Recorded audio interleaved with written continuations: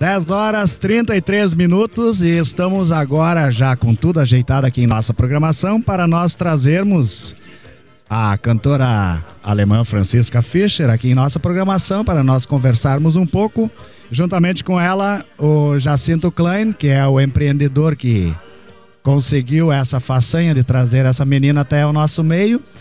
Então vamos começar conversando com o Jacinto. Bom dia, Jacinto. Ok, muito bom dia, um bom dia mesmo, um dia maravilhoso hoje, domingo de manhã, Pio Rambo e todos os ouvintes aí da RCC, sejam de perto ou de longe ou além mar, enfim, uma alegria enorme estarmos aqui com essa cantora maravilhosa, Francisca Fischer, que está pela segunda vez aqui no sul do Brasil para fazer a sua segunda turnê no Brasil. Uhum. Guten Morgen, Franzi. Guten Morgen, ihr Lieben. Alles gut? Alles. Äh, wir machen es so, ich mache die Frage auf Portugiesisch, welche unser Hörer, und dann Fran, äh, der Jacinto macht es auf Deutsch, tut sie übersetzt auf Deutsch und nochmal zurück auf Portugiesisch für unsere Hörer, all äh, dich verstehen können. Sing. Sprichst du schon ein bisschen Deutsch, äh, Portugiesisch? Ein bisschen Deutsch spreche ich, ja. Und Portugiesisch Você fala português? Eu não sei falar português. Viu? Cheio. Muito bem. Ah, Jacinto, como é que foi essa façanha de trazer essa cantora aqui? Fala um pouquinho sobre isso. Ah, remontando a história um pouquinho, inicialmente, na verdade, começou com o nosso amigo Wilson Martens e a sua esposa Vera Lúcia Bon, que estão também presentes aqui com muita alegria. Saúdo eles também aqui no nosso meio. E Sejam ele que é um. Exato, ele que é um, eles que são também grandes apaixonados pela música alemã. Então nessas pesquisas assim como você faz, Pio, a gente faz, eles também fazem, a gente vai navegando na internet, no YouTube, vai buscando novas fontes de música alemã e outros estilos também. E numa dessas aí eles encontraram então a Francisca Fischer, isso há uns quatro anos atrás, né? E aí convidaram ela pela primeira vez. Ela veio eh, há três anos atrás. Na época ela tinha 17 anos.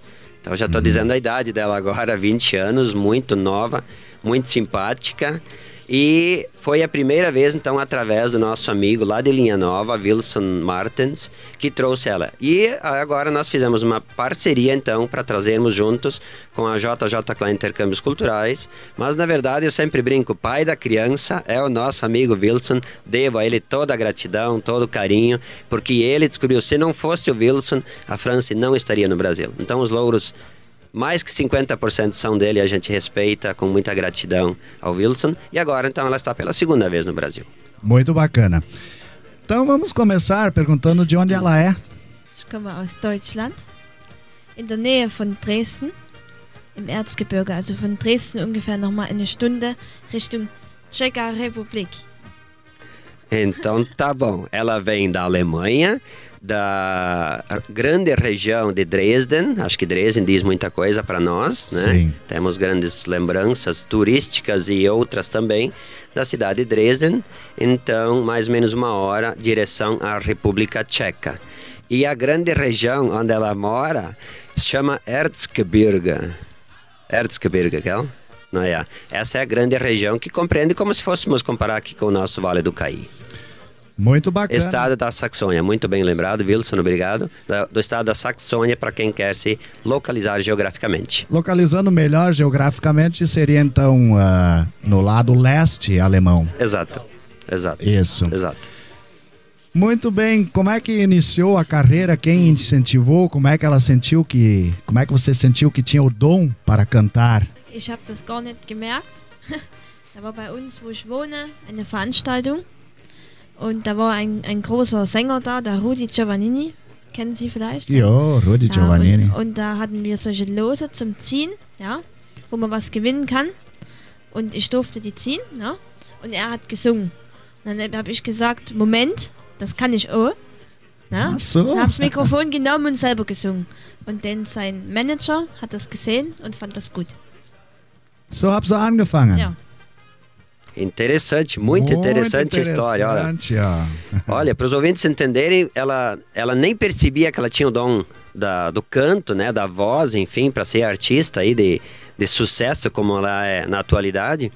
Aí no dia, num evento, uh, tinha sorteios e entre os sorteios tinha para puxar um bilhetinho, né? Os famosos bilhetinhos. Alguém e... da plateia vai lá e retira a folhinha do Exato. sorteio. E ela estava sentada lá, como qualquer outra pessoa da plateia, puxou um bilhetinho e ali estava escrito que ela podia cantar uma música. E tinha um grande artista, me ajuda no nome, que estava se Rudy Giovannini. Rudy Giovannini. Estava se apresentando Aí então o empresário dele também viu, depois da Francisca ter cantado uma, uma musiquinha, que ela tinha talento e chamou ela para o canto e começou a, a negociação artística da, da, da Francisca. Der Badewanne gesungen vorher?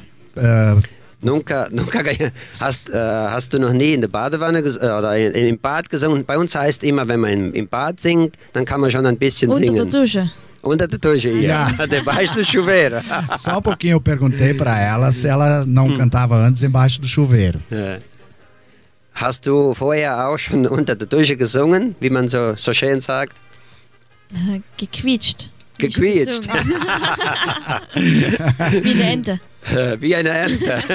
songs, songs meio estridentes. essa aí, essa aí saiu bem. Muito Legal. bem. E da família mais ninguém é músico? Meine Oma hat viel gesungen und auch Akkordeon gespielt. Uhum. Aber die anderen, na, na, die quietschen alle. De quiche. A vovó cantava e tocava harmônica. Mas os outros, todos da família, só quiche, só fazem uns barulhos estridentes. É, sempre se diz que está no sangue, né? É, de alguma, alguma parte hereditária vem. Aham. E quando é que, como é que foi o primeiro trabalho dela? Como é que, como é que aconteceu isso? Ela foi convidada então pelo Rudy Giovannini para cantar. Então, como é que a partir daí se desenvolveu a história até chegar ao primeiro CD? Der hat mir dann die ersten vier Lieder geschrieben. Dann sind wir ins Tonstudio gegangen. Dann habe ich die aufgenommen. Dann hat er alles gemacht, also CDs gemacht und sind gut gewesen, sehr gut angekommen. Und dann wurden halt immer mehr Auftritte und dann ging das so alles weiter. Äh, wie alt warst du damals? Neun Jahre. Nove anos. Então, com no, eh, nove anos, começou tudo bem, bem meninota mesmo, né?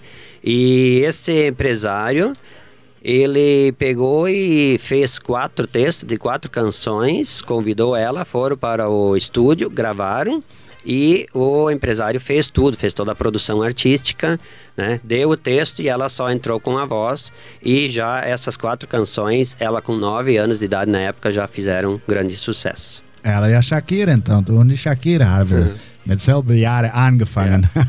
Sagt ihr was, Shakira? Ja, sie hat auch mit Sing. neun Jahren. Sing? Sing.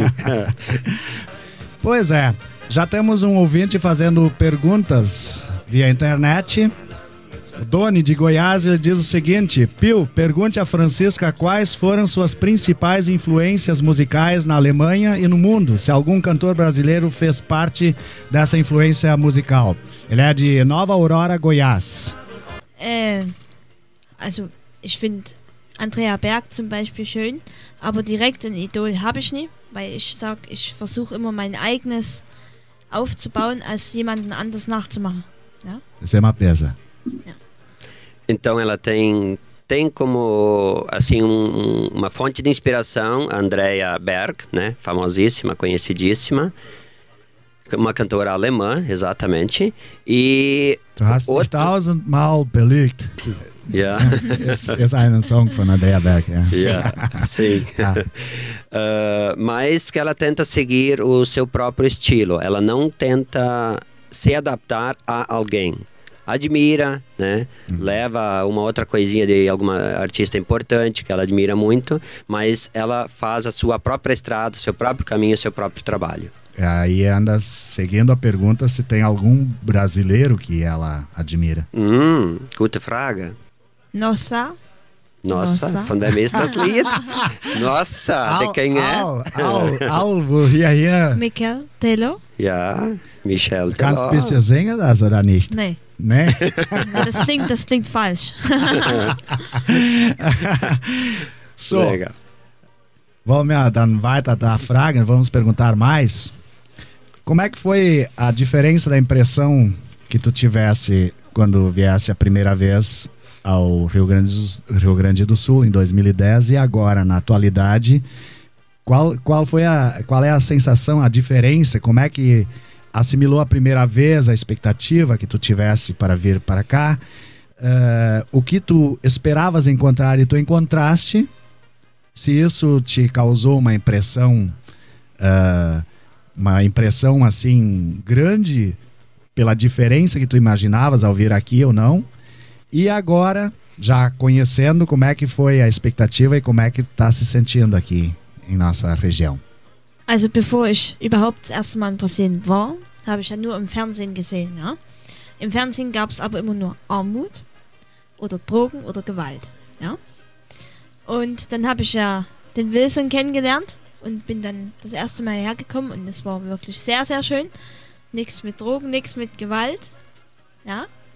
Und ich finde es sehr, sehr schön hier. Die, die, die Menschen sind sehr, sehr liebevoll und sehr herzlich. Wir waren ja auch in den Schulen und im Kindergarten. Die Kinder sind jetzt auch schon sehr, sehr herzlich und sehr, sehr lieb. Also ich habe es mir ganz am Anfang habe ich mir gedacht, oh, ein bisschen Angst gehabt, aber jetzt ist alles gut, alles wunderschön.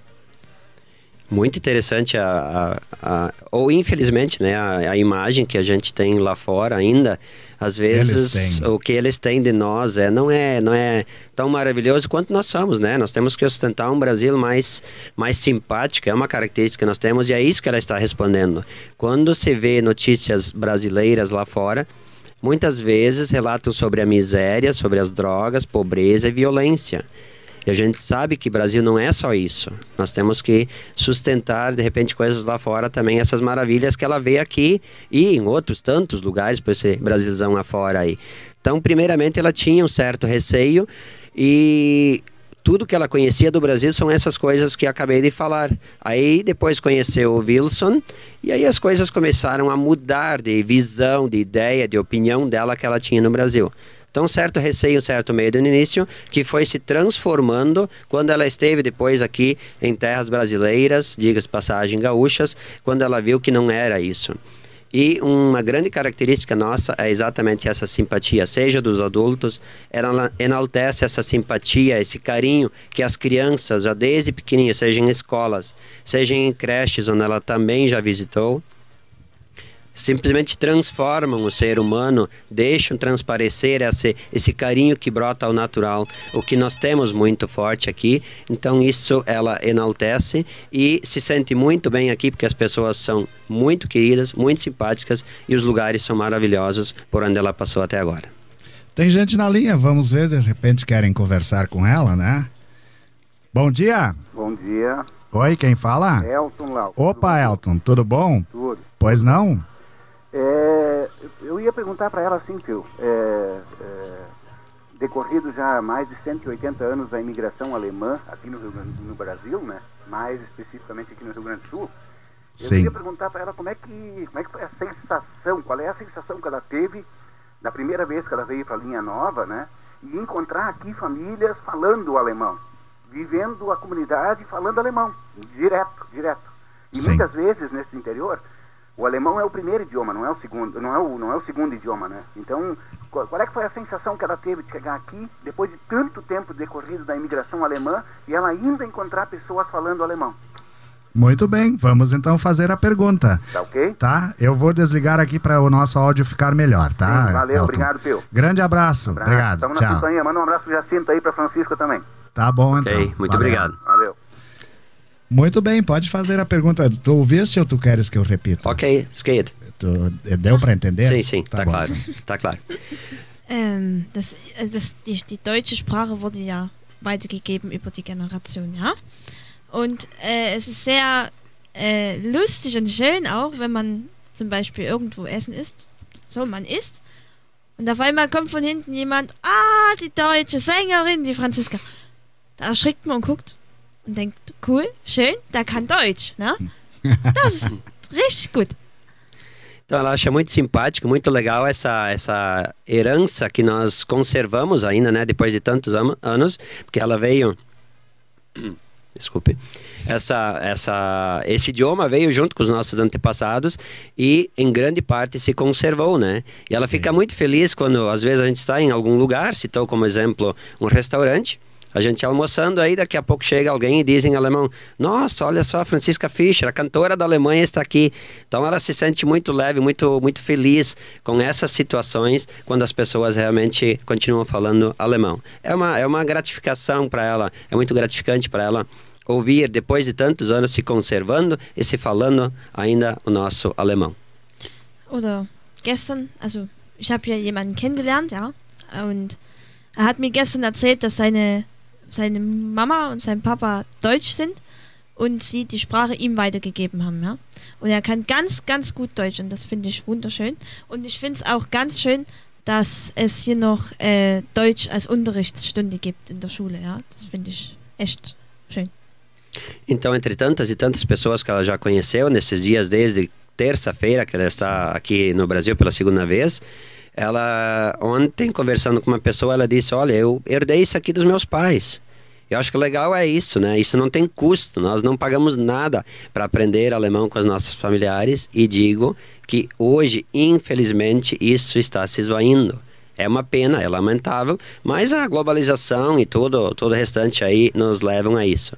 Mas ela diz que foi, foi um momento gratificante de ouvir que essa pessoa herdou isso aí dos seus pais. E outro momento que ela enaltece é que em vários municípios da região ainda tem aula ou até cursos de alemão, o que também é importante que é de certa forma conservar e preservar uma das partes da cultura alemã que é a língua, o idioma. A ouvinte Andréia Donato, de Votuporanga, São Paulo, está mandando um beijo para a Francisca. Oh, einen Kuss von Sao Paulo für dich. Zurück. Ja. Einen großen. Einen großen, um grande beijo de volta então para São Paulo. Então, Maravilha. viu, Andréia? Ela está mandando um beijo maior. Agora vai começar a competição. Ela vai mandar o maior ainda e assim vai. Schanzo, vamos weiter da Frage. Vamos perguntar mais alguma coisa para ela? Se ela canta em outras línguas, se ela já se aventurou a cantar em português e o que, que ela está planejando para o seu futuro? Está fazendo alguma faculdade? Ähm, ja, ich habe Englisch gesungen, englische Lieder. Erzgebirgische Lieder ist eine andere Sprache als Deutsch. Erzgebirgisch. Dialekt. Dialekt. Jawohl. Und jetzt bin ich gerade dabei. Ich versuche jetzt ein portugiesisches Lied zu schreiben. Opa! Oh.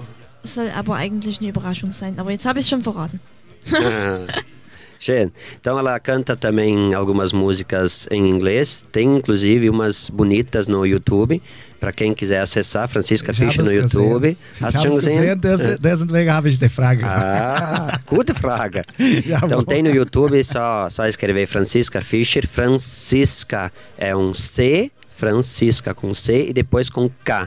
E o que ela planeja para o seu futuro? Está fazendo alguma faculdade? Já fez? Die erste Frage war, ach ja. Ja, ich habe in Dresden studiert. Äh, Psychologie und Pädagogik. Opa! Und jetzt arbeite ich erstmal als, wie heißt das auf, auf Portugiesisch? Kellnerin? Garçonete. Garçonete. Ja. Mhm. Ja? Ähm, und ich möchte jetzt erstmal neue Lieder machen. Viele, viele neue Lieder. Selbst Auch. schreiben. Ja. Und davon auch portugiesische Lieder. Auf portugiesischer Sprache. Ich versuche es. Eu vou tentar traduzir então essas informações eh, importantes dela. Então ela é formada em psicologia pela Universidade de Dresden e trabalha também nos dias vagos que ela não tem shows, uma vez que acho que até pela própria idade e carreira estar no início, ela não tem como sobreviver bem só da música ainda. Sim. Então ela trabalha num, num hotel ah, como garçonete nos dias de semana e como projeto de vida, então ela está começando agora a compor muitas canções próprias e inclusive já está tentando fazer agora alguma composição na nossa língua portuguesa. Muito bacana isso. Schön so. Eine Frage. Deixa eu ver aqui. Spielst du ein Instrument? Toca algum instrumento musical?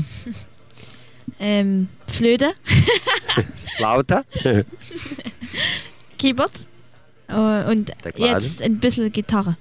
e um Opa! pouquinho de guitarra. Violão. Muito bem. Quando falou que vinha ao Brasil para se apresentar, o que os como é que as pessoas de suas relações, colegas, amigos, não sei se tem namorado também, como é que eles encararam isso e como é que eles sentiram isso? O que que que, que eles falaram para ela? Como é que foi a impressão assim pessoal quando ela eh, quando ela ficou sabendo que tinha o convite para vir ao Brasil? Die haben nur gesagt, dass ich verrückt im Kopf bin. nur das. nur das. Ja. Und dass es schön ist und dass sie sich freuen. Und das stand auch ganz oft bei uns in der Zeitung drin. Und ich ja, habe es auch haben gesehen. wir viel Glück. Ja? Ja. Ich habe, ich habe dich, äh, ich habe dich, como é que se diz pesquisar? Geforscht, er hat nachgeforscht. Ja. Nachgeforscht. Ich muss dich doch kennen, kennenlernen. Bevor, du, bevor du hierher kommst. Und haben mir alle viel Glück gewünscht, dass ich gesund bleibe und gesund wiederkomme. Und viel Glück für meine Auftritte gewünscht und dass ich verrückt im Kopf bin. Ja. Muito interessante, a primeira coisa que eles falam, que era louca da cabeça. Mas enfim, todo o apoio por trás dessa brincadeira, tinha todo um apoio de vir com saúde, voltar com saúde, ter sucesso no, no Brasil, nos seus shows, enfim, no dia a dia, se sentir muito bem no Brasil. Esse foi o, o, o grande desejo de todos os amigos dela lá da Alemanha. Então tá, nós estamos aos poucos chegando já no fim do programa. Eu quero tocar mais uma música dela. Nós vamos ter também uma ainda o, o aviso da turnê dela. Então eu, a última pergunta seria o que o que ela tem para dizer para os nossos ouvintes. Ja, meine Damen und Herren, Prezadas senhoras, prezados senhores. Aham. ich wünsche euch allen noch einen schönen Tag. Wir haben uns gefreut, dass Sie jetzt zugehört haben. Und ich bin ja jetzt noch hier in den nächsten zwei Wochen und habe noch Auftritte. Vielleicht könnt ihr es versuchen, auf einen Auftritt zu kommen. Es wird bestimmt lustig. Und wenn wir alle zusammen Bier trinken, ist sowieso alles gut. Opa. Oh, boa ideia. Schmeckt, schmeckt unser Bier hier gut? Sing! Sim. então, que ela está muito feliz eh, pelos ouvintes estarem agora na sintonia aí e deseja tudo de bom a todos e espera que dentro dessas próximas duas semanas ainda que ela vai estar no Brasil, quem sabe a gente se encontra numa dessas apresentações dela